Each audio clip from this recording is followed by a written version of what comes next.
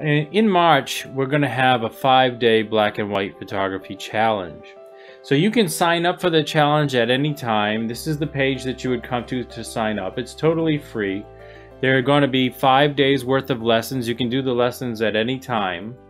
And then on March 27th to March 31st, that's when you're going to post your black and white images, at least one black and white image every day and you're going to use the social media hashtag um, BW Challenge.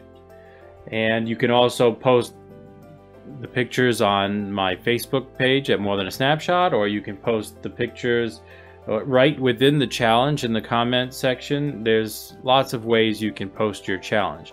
But I would really like you to sign up and check out the lessons that I have there for you. There's going to be some lessons about tips for shooting better black and white photos and some tips for processing your black and white photos with plugins and software and things like that.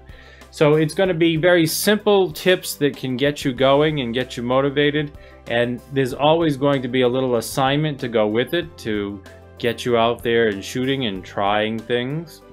And then of course, we want you to post your black and white images to hashtag BW challenge so that everybody can see what you've done.